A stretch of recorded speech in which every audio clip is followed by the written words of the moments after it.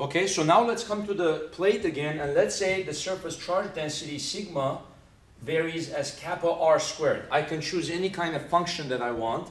Kappa is some constant, and then this is saying that as the distance r gets bigger, bigger, the surface charge density is proportionally increasing as the distance squared. So more charge is concentrated on the outside of the disk, right? So uh, I could start the same way that I had last time. I can say dE is equal to kx dq over x squared plus r squared to the 3 halves power.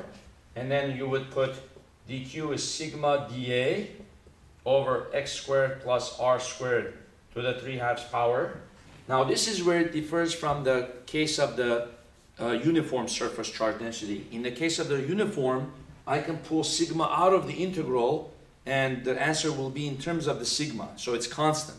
In our case, we have to put sigma as kappa r squared. And then on top of that, you also put, have to put down the dA as 2 pi r dr.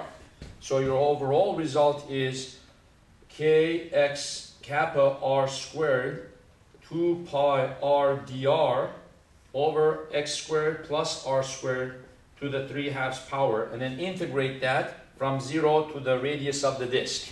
So the total electric field, let's erase this and put it from up there. The total electric field comes out to be uh, every, anything that's constant we can pull out of the integral 2 pi. K is constant, kappa is constant, and x is constant. So I'll have r squared r dr over x squared plus r squared to the 3 halves power 0 to uh, capital R. Now in our case, I did it sort of like this on purpose because I wanted to make the integral more integrable. If, if the, this function was a little different, then you could use the TI calculator and you could actually integrate this using the TI. But in our case, I want to be able to do this uh, by simple substitution. So this one is pretty integrable. We can say let u equal x squared plus r squared du is equal to 2r dr. And uh, you have an extra r squared here. r squared will be u minus x squared. So what will be this integral? E total is 2 pi k kappa x uh, r squared will be u minus x squared. r dr, uh, r dr will be du over 2 divided by, this will be u to the power 3 halves.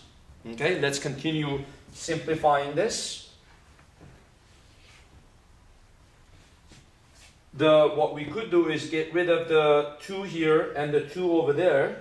And then we have the total electric field is equal to pi k kappa x integral and then you have u over u to the 3 halves so you will have u to the it's like saying u to the 2 halves over u to the 3 halves minus and then you'll have x squared over u to the 3 halves.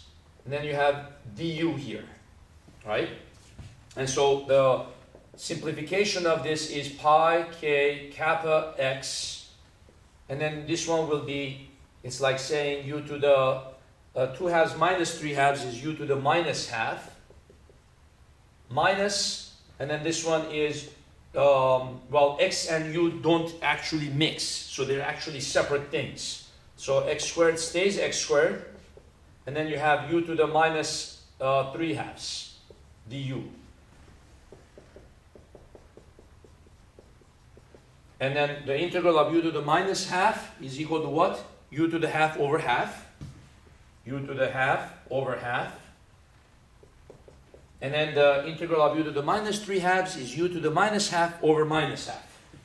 u to the minus half over minus half. So the minus and the minus becomes a plus, and the 2 goes to the numerator, and we can actually factor the 2 out, and then you'll end up with the extra 2 again here. So E total is equal to 2 pi k kappa x, and then this 2 became this 2. And then you have, now we could put down what u was. u was x squared plus r squared. So x squared plus r squared to the 1 half power plus x squared. Okay, that's from here. And then you'll have over, and this will be x squared plus r squared to the 1 half. Now we got to go 0 to big R. Okay, so this is our final integral. Okay, so then you bring it over here.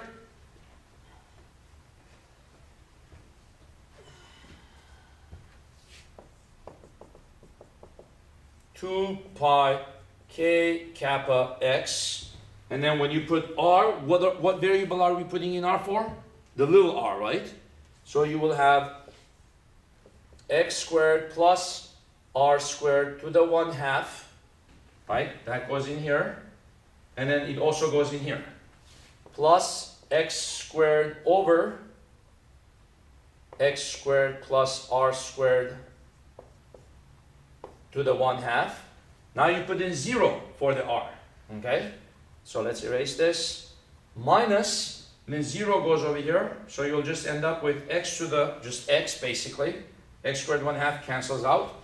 And then when you put in 0 here, minus 0 here, so you'll have x squared over what? And then 0 here, basically this will cancel, and then you'll have x squared, 1 half is just x right? And what is that equal to? Well, uh, the x and the x squared will cancel. then you have minus x minus x, which is equal to what? Minus 2x. So that is our final answer. E total is equal to 2 pi k kappa x x squared plus r squared to the 1 half plus x squared over x squared plus r squared to the 1 half minus 2x. In terms of unit wise, does this work out? Well, this is in units of meter squared, meter squared, one half, that's meter. Meter squared over, this is also a meter, so this is also a meter, and this is also a meter, right? So they should all be unit, uh, they should all agree in terms of units as well, okay? The last thing to do is to say what is kappa, right? So I say Q is equal to dQ which equals to sigma dA integral integral. And then sigma was kappa r squared. And then dA was 2 pi r dr from 0 to r. Every time you have non-uniform charge density, you're always having to find the relationship between that constant kappa and your total charge of whether it be your disk or whether it be a rod, okay? So then you're going to have here Q is equal to 2 pi kappa integral r cubed dr 0 to r. 2 pi kappa, and then the integral of that is r to the fourth over 4. Okay? Therefore, this simplifies to what? Pi over 2 kappa r to the fourth, and therefore kappa is equal to 2q over pi r to the fourth, right? So it's double the charge of whatever the charge of the disk is divided by pi r to the fourth. Now you substitute that into this kappa, okay? So you have 2q over pi r to the fourth. Pi, pi cancels. You have E total is equal to,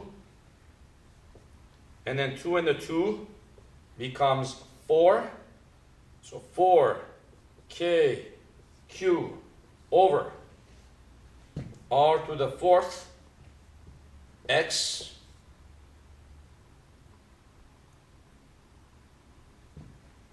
times x squared plus r squared to the 1 half uh, plus x squared over x squared plus r squared to the 1 half minus 2x. That is the electric field of a disk of non-uniform charge density where the uh, sigma changes as a function of r squared. If you want to find the limit of this as x goes to 0, you could also do that. You could say limit as x goes to 0, and then you will have 4kq x over r to the fourth And then when you put 0 here, you'll just have r squared to the 1 half. So this will be negligible compared to that. So you'll just have r. And then this one will be x squared over. And then this one will just be negligible compared to that. So you'll just have basically, this will disappear. And you'll just have x squared over r minus 2x. Okay? But if x is approaching 0, x squared is smaller than 2x, right? Therefore, it's even negligible compared to the 2x, right?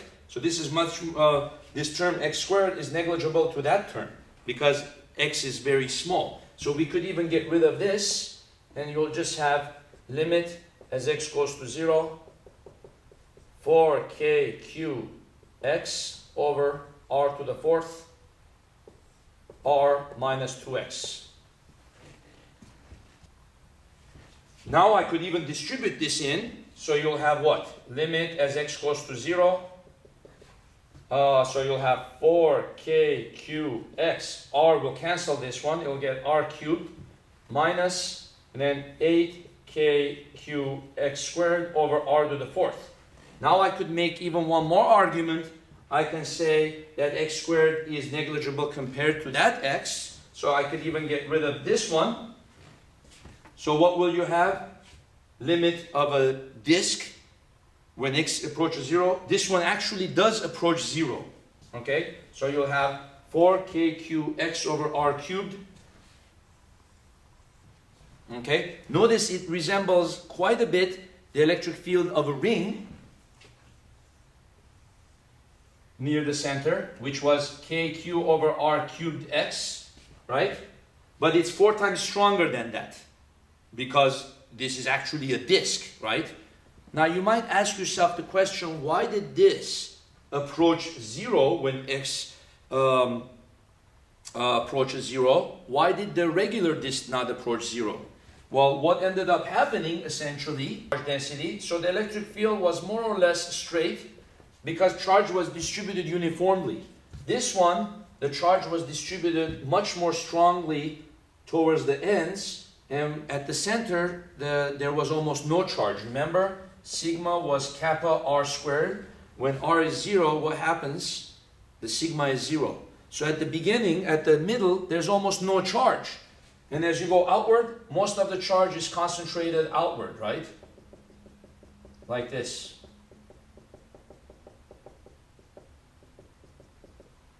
Towards the middle, there's almost no charge. So the electric field configuration of this is stronger than a ring, but in the middle, it's not as strong as a regular uh, disk, right? So the electric fields look like this.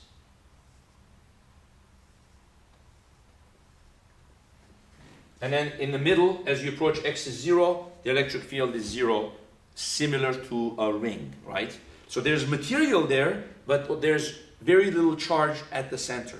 So now you see how to approach uh, rings, plates, and how to find the electric field of both of them and how to see what their behavior is. Okay? Thank you very much.